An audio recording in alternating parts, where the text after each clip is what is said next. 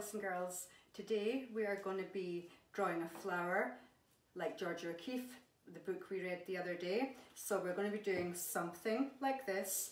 This is a painting that Georgia O'Keeffe made and we're going to do something similar where she zooms in and we don't see all of the flower. It's almost like when you, you zoom in with a camera and you see something close up. So you're going to be needing a Sharpie if you have it or something similar. If you have oil pastels, that's great. If you don't, crayons would also work. And then I will be using liquid watercolour. If you don't have it, you can use pan watercolour or you can just colour your uh, flower with anything that you have on hand. Okay, so I'll see you in a bit. Okay, so we're ready to draw our Georgia flower. I'm going to use my Sharpie to start and I'm going to make a dot somewhere off center of my paper. So this is near the center, but I'm going to go off center, make a little dot. And I'm going to start with the center of my flower. So the center has the little stamens in. I'm going to go around little, little shapes or little circles you could do circles, you could do little ovals, you could do little lines, just to make the center of your flower. Okay, now I'm going to do the petals. I want my petals to come all the way off the page because Georgia O'Keeffe really zoomed in. So I'm going to start here and just take a line all the way out to the edge. And it's like my petals going off the edge and coming back round over here. Now I'm going to make the second petal. I'm going to go up to the edge. I'm going to pretend it's drawing around and come right back in here. Okay, I'm going to keep on going around doing that. Off the page. Maybe I come back in over here. I'm going to go around and this big petal here. And then maybe I'm going to fit two more, so.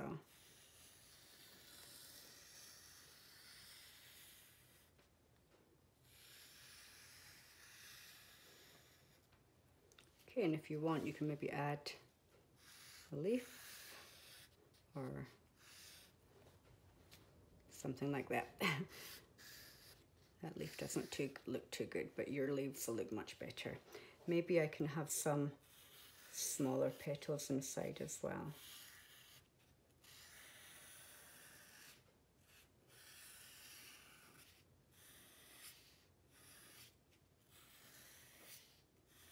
Make sure when you're drawing with Sharpie to connect. Sometimes we forget that just like I did. You have to make sure your lines connect. So if I'm drawing a line here, it connects to the other line. And the other thing with Sharpie, we need to draw really slowly. Okay, so now I've got my Sharpie part done. I'm going to use Craypa to add some lines on the leaves to make it look a bit more realistic. I am going to be using three colours that are pretty similar. I'm going to be using a dark red, an orange, or sorry, light red, an orange and a darker red. And I'm just going to make some little lines on my petals. They start at the, near the centre and go out towards the edge. They're just wavy lines. You can make as many of these as you like or as few. And maybe I'll use the other colour. You can make them long, you can make them short.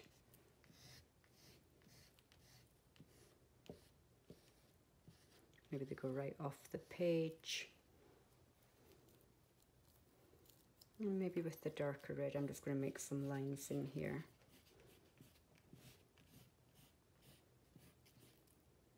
Okay, so now it's going to be time to paint. I am going to use liquid watercolor. If you don't have liquid watercolor, you can use the regular pan watercolor we use, or you can color it with anything that you have on hand. So I'm just going to start by painting this liquid watercolour. If I use it straight, it's very dark. So without even dipping no water, I didn't dip in any water yet. I can put it on pretty thickly and then I can dip in the water and if I pull it out to the edge it gets a little lighter. You can see how the, the uh, paint isn't as dark. Okay, so that's the effect that I want on my flower. I want it to be darker here. This petal is going to be a little darker. And the outer petal, I'm going to dip in the water and it's a little lighter. So I'm just going to continue to paint my petals until I've got them all done.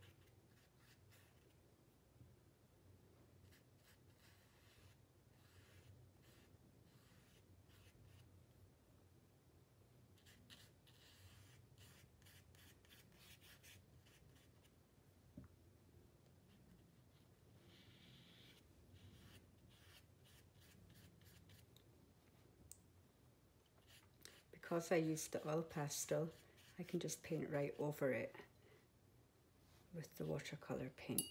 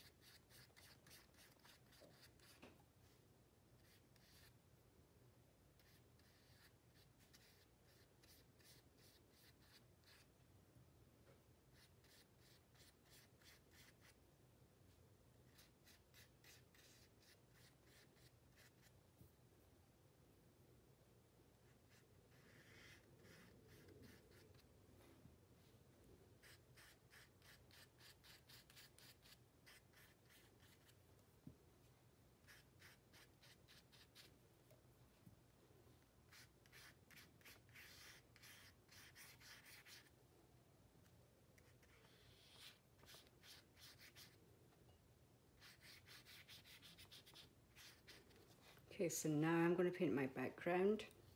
I'm going to clean my brush in my water and I've chosen green for my background because actually that's all I've got. All my other colours are still in school. So I like the green contrast stuff. So I'm going to just paint all the spaces are going to be green. You of course are going to paint much more careful than me. I'm painting fast so that you can see how it's going to look.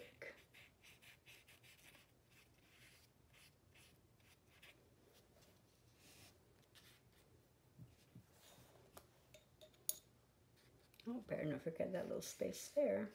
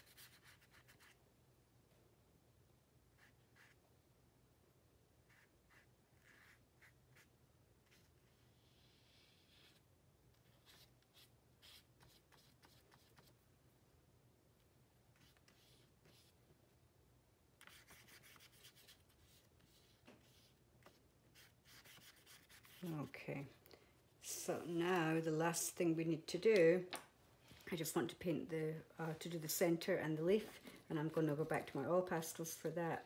I'm going to use this darker purple so that my little center, my little stamens really contrast against the orange.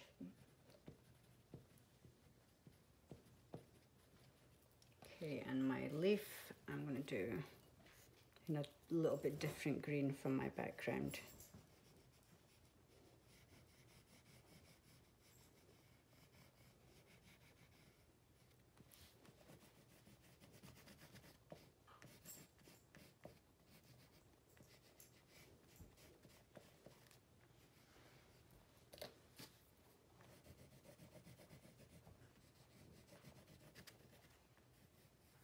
Okay, I hope you enjoyed that and I hope you get a chance to try it out. I have tagged it as a third, uh, yeah, a third grade lesson. And if you click on the Pinterest board link, it will be on the third grade lesson board as well. Um, so I hope you enjoyed it and I hope you can come back again and see what else we do another day.